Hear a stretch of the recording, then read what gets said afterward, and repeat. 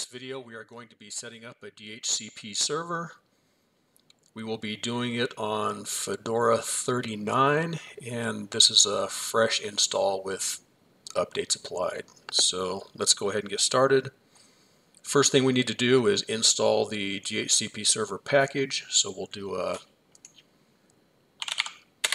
DNF install DHCP server enter.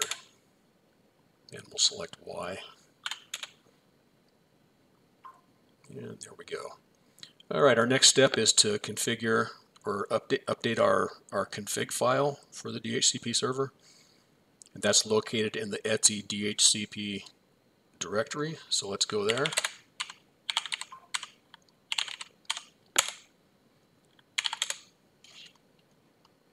and we see a dhcpd.conf file. That will be the file that we, we edit. So let's do a VI, enter, and let's go ahead and arrow down to the bottom line and hit O. And backspace 1 and then we'll move down a couple lines And our first entry is going to be D DNS update style. We'll do a tab and then we'll put in none. This uh, deals with updating the DNS server when IPs are assigned and all of that stuff, which we're not doing here. Our next step will be to set the default lease time.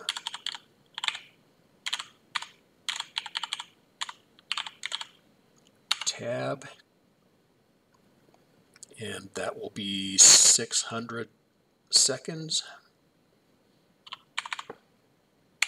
So it's 10 minutes. And then we'll do max lease time.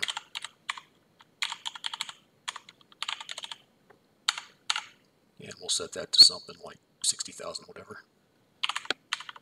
Oops.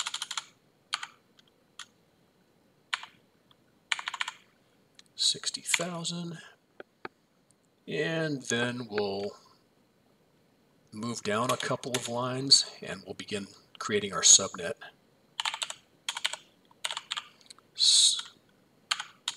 All right. Subnet 192.168. In my case, 192.168.1.0. If you have a 10.10 network, then 10.10 would be used in this section of, of the uh, configuration. And let's see. Netmask 255 two five five two five five dot zero space and then we'll put in our brace. Let's go ahead and move down two lines. There's a space between the the entry we just created and uh, our next set of information. So let's go ahead and type in range.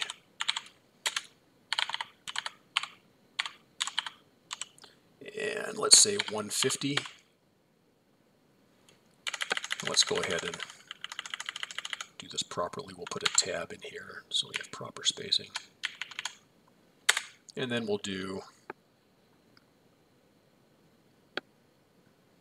192.168.1.200 and then a semicolon, enter, tab, so when an IP address is assigned to a system that connects to this DHCP server, it will be given an IP address between 150 and 200. So let's go ahead and do our next entry, which is router information. Option routers, and in my case it would be 1.1.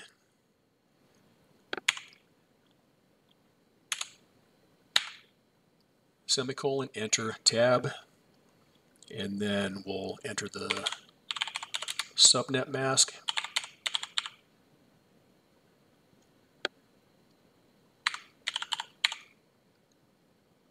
And that will be dot zero. So 255, 255, 255 dot zero, and then the semicolon, enter, tab, and we'll enter the broadcast address.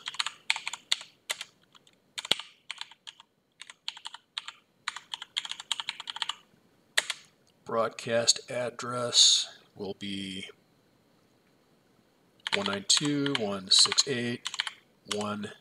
192.168.1.255. Semicolon, enter, tab, and then we will, our final entry will be file name, quote, Pixie Linux dot zero,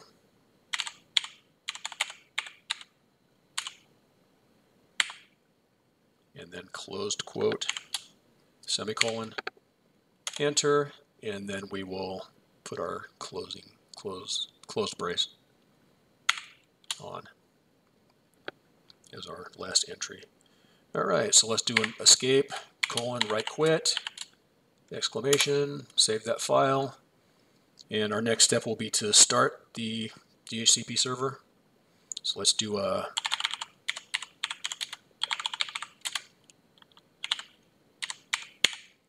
system control, start DHCPD, and we'll hit enter.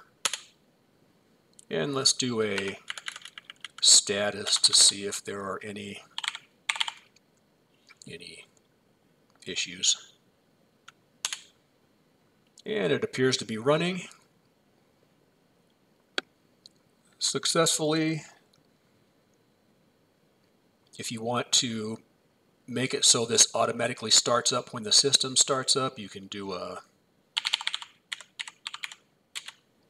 enable, should be system control enable DHCPD, and that will that will uh, set it so that it automatically starts up when the system reboots. We can go ahead and do that just to see what it looks like. All right. So we can go back into status and we can see up here that the DHCPD service is enabled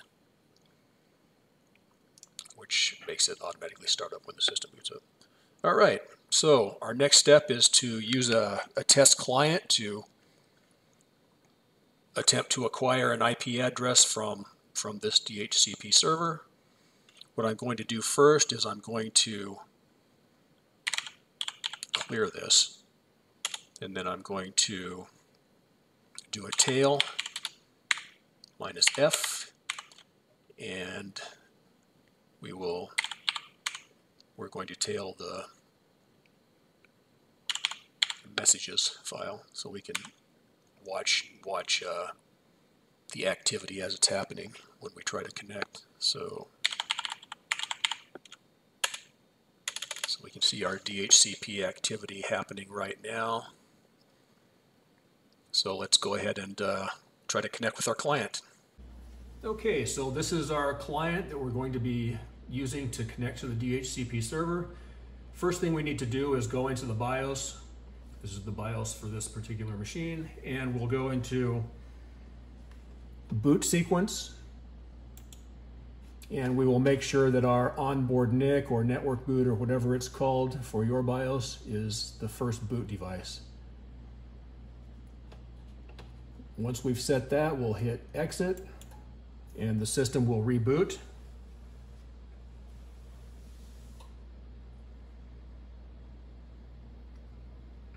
Give it a second to come back up. And its first step should be to attempt to acquire an IP address from DHCP. So there you go. And there you go. 151 is our IP address. And we've successfully connected to the DHCP server, so everything's functioning. This next step will just time out.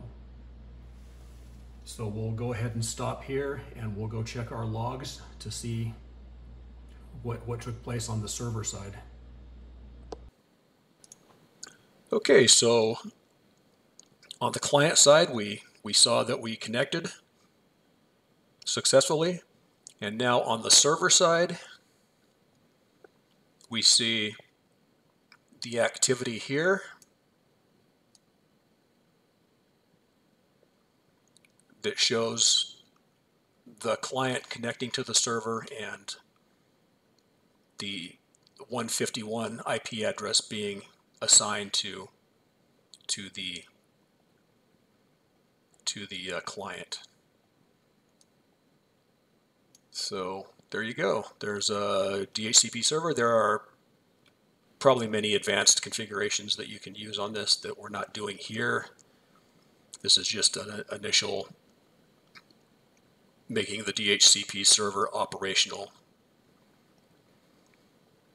video. So feel free to test out any advanced options or whatever that are available with this if you want to or need to. And I think that's it. Uh, let's see. Again, subscribe please. Please subscribe to my channel and like my videos. I should have uh, more more uh, more videos coming up in the future, in the near future. So stay tuned for those, and I'll see you next time. Thank you.